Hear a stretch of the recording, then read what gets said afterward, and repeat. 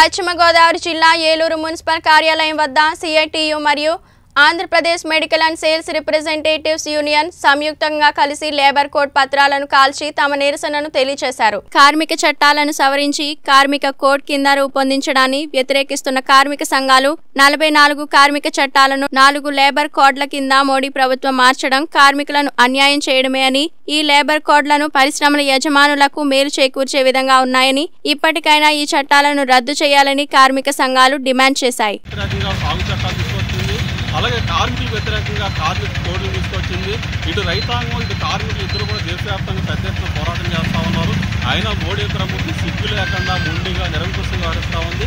ఇది చాలా దారుణం అని చెప్పేసి భావిస్తూ ఉన్నాం. భవిష్యత్తులో కార్మికులు రైతాంగం కలిపి అంటే కార్మిక కర్షక ఐక్యతతో ఈ ఉద్యమాలు మరింత ముందుకు సాగిస్తామని చెప్పేసి తెలియజేస్తాం ఈరోజు దేశవ్యాప్తంగా కేంద్ర ప్రభుత్వం మోడీ తీసుకొచ్చిన లేబర్ కోడ్లను రద్దు చేయాలని కార్మిక సంఘాలు చేస్తున్న పోరాటానికి ఆంధ్రప్రదేశ్ వ్యవసాయ కార్మిక సంఘం సంపూర్ణ మద్దతు తెలుపుతుంది. ఇప్పటికే గ్రామీణ ప్రాంతాల్లో వ్యవసాయ కార్మికులు కార్మికులు అనేక సమస్యలతో ఇబ్బంది పడుతున్నారు.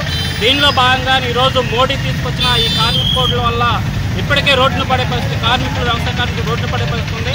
జాతీయ గ్రామీణ ఉపాధి హామీ పథకాన్ని అమలు చేయాల్సిన అవసరం ఉంది. అలాంటి పేదలకు కార్మికులకు ఉపయోగపడే చట్టాలని నీరుగార్చే విధంగా కేంద్ర ప్రభుత్వం చర్యలు తీసుకుంటుంది. దీనికి తగిన కేంద్ర ప్రభుత్వానికి తగిన బుద్ధి చెప్పే విధంగా రాబోయే కాలంలో కార్మిక సంఘాలతో వ్యవసాయ కార్మిక సంఘం ఐక్యకార్యాచరణ పోరాటానికి సిద్ధమవుతుందనేది ఈ సందర్భంగా తెలియజేస్తున్నాం. భారతదేశంలో కార్మిక వర్గం ఉద్యోగ వర్గం పోరాడి సాధించుకున్న అనేక కార్మిక చట్టాలను ఈరోజు మోడీ ప్రభుత్వం మందబలంతో దుర్మార్గంగా నలభై నాలుగు చట్టాలు రద్దు చేసి నాలుగు లేబర్ కోడ్గా మార్చివేసింది. మరి దీనివల్ల కార్మిక వర్గం గత వంద సంవత్సరాలుగా పోరాడి సాధించుకున్న ఏదైతే కార్మిక చట్టాల వల్ల ప్రయోజనాలు పొందుతున్నారో ఆ ప్రయోజనాలన్నీ కూడా ఈరోజు రద్దయిపోయే ప్రమాదం ఏర్పడింది. యజమానులకు అనుకూలంగా చట్టాలు మార్చడం వల్ల కార్మిక వర్గం మరోసారి బానిసత్వంలోకి నెట్టివేయబడింది. కనీస వేతనాలకు గ్యారంటీ లేదు.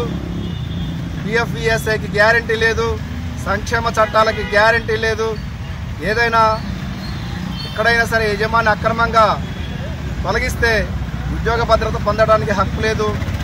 ఈరోజు యజమానులు ఇష్టానుసారంగా ఎప్పుడైనా సరే ఉద్యోగం నుంచి తొలగించే విధంగా ఎప్పుడైనా సరే పరిశ్రమలు మూసేసే విధంగా కనీస వేతనాలు అమలు చేయకుండా నష్టపరిహారాలు ఇవ్వకుండా కార్మిక చట్టాలు అమలు చేయకుండా మరి ఉండే విధంగా ఈ యొక్క చట్టాలను యజమానికి అనుకూలంగా మార్పు మార్పు చేయడం జరిగింది.